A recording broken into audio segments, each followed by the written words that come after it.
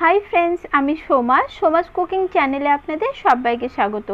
দোকানে আইসক্রিম কিনতে গেলে দশ টাকায় আমরা একটা আইসক্রিম পেয়ে থাকি। আর এখানে মাত্র দশ টাকা খরচ করেই আমি ছটা ম্যাঙ্গো আইসক্রিম আপনাদের বানিয়ে দেখাবো। আর এই আইসক্রিমটা বানানো খুবই সহজ। একটা ছোট বাচ্চাও এই রেসিপিটি দেখে আইসক্রিম তৈরি করতে পারবে। চলুন তাহলে এখন এই ম্যাঙ্গো আইসক্রিমের রেসিপিটি দেখে নিন।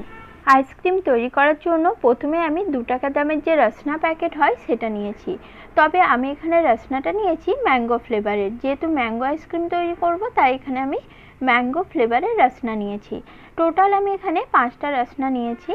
আর এখন একটি মিক্সিং বোলের মধ্যে নিয়ে নিলাম দু কাপ জল। এখন এই জলের মধ্যে রসনার প্যাকেটগুলো কেটে রসনাটা আমি ঢেলে নেব। আর এই রসনার প্যাকেটগুলো আপনারা যে কোনো পান দোকান অথবা মুদি বা ভুসিমাল দোকানে খুব সহজেই পেয়ে যাবেন। আইসক্রিমের এই ভিডিওটি আপনাদের ভালো লাগলে লাইক ও শেয়ার করার অনুরোধ রইল। একে একে সবকটা রাসনা আমি এখানে ঢেলে নিয়েছি। এখন আমি এখানে দু চামচ চিনি অ্যাড করে দিচ্ছি। রাসনার মধ্যে এমনিতেই মিষ্টি থাকে, তাই যারা কম মিষ্টি খান তাদের এখানে চিনি দেওয়ার প্রয়োজন নেই। আর যারা বেশি মিষ্টি খান, তারা এখানে চিনির পরিমাণ বাড়িয়ে নিতে পারেন। এরপর চিনিটা ভালো করে গুলে নিলাম, আর এর মধ্যে দিয়ে দিলাম এক চামচ লেবুর রস। লেবুর রস দিলে আইসক্রিমটা খেতে আরও অনেক বেশি টেস্টি হয়। এখন সব কিছু আবারও ভালো করে মিশিয়ে নিলাম।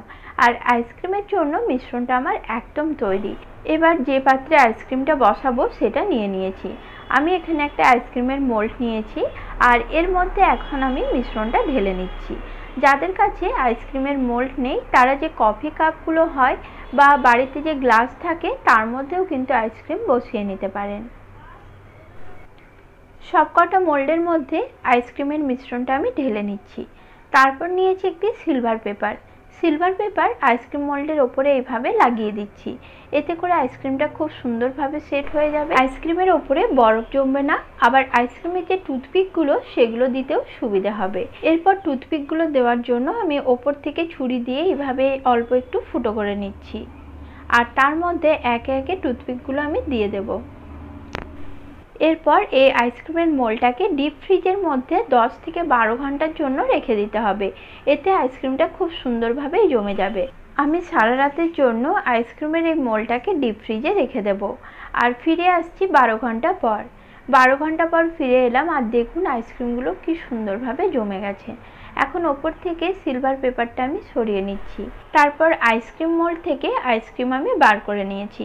আজকের মতো নমস্কার বন্ধুরা, সকলেই ভালো থাকবেন।